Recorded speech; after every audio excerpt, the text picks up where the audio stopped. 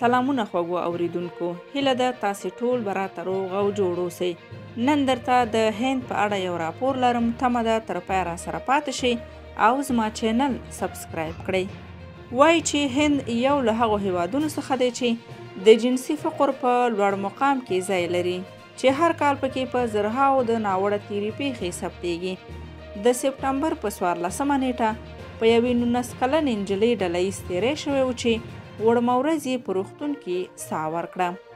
دا په هند کې کومه د حیرانتیا خبره نه ده چې په یوې نجلۍ باندې تیری شوی وي په کوچنیو ماشومانو هم ډېرې پیښې ثبت شوي په غالب ګمان چې په 2013 کې په یوې مسلمانې کشمیري نجلۍ چې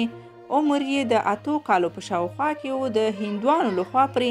ډلهییز تیری شوی و او بیا ډیر وخت د هندوانو په عبادت ځای یا مندر کې ساتل شوی و چې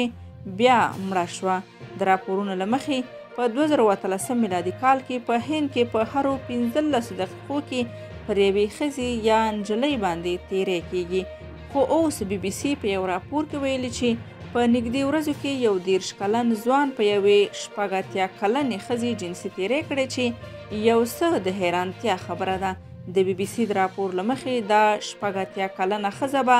هره ورځ د کور مخته د شیدو راوړونکو لپاره ولاړه او شیدې به یې ترې اخیستي چې په دې ورځ دا دیرش کلن ځوان راغلی دی او ورته یې ویلي دي چې نن د شیدو والا نه راځي راځه چې نږدې دکان ته دې یوسم او شیدې درته واخلم ښځه هم ورسره روانه شوې وه او په لاره کې یې یو کروندي ته بوتلې وه او هلته یې پرې ناوړه تېری کړی.